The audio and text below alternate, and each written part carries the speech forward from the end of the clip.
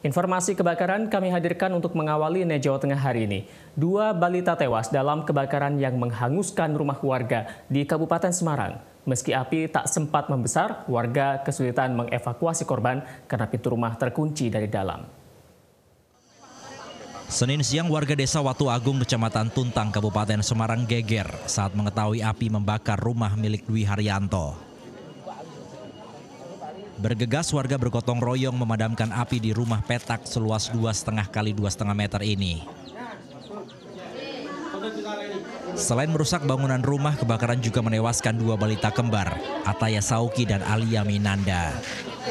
Ambil air, bengok-bengok, kebakaran, tolong, kebakaran, tolong, kebakaran, gitu aja.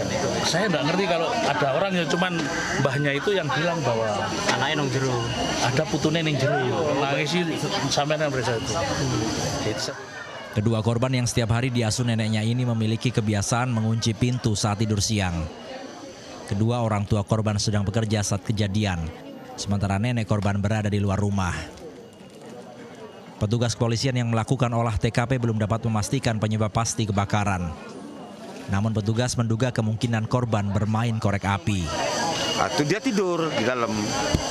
Tapi kebiasaan tidur itu dikunci dari dalam sama korban itu. Apa penyebabnya sampai sekarang kebakarannya belum tahu. Kita belum belum bisa memastikan ya. Tapi kalau informasi dari Mbak E memang itu ada banyak korek ya, itu banyak korek. Mungkin dia mainan korek ya kita belum tahu. Tapi penyebab yang pasti ya kebakaran. Kebakaran. Hingga Senin sore simpati warga terus berdatangan di rumah duka. Usai disucikan kedua jenazah korban kebakaran langsung dimakamkan di pemakaman umum Desa Watu Agung. Yuda Erianto melaporkan untuk NET.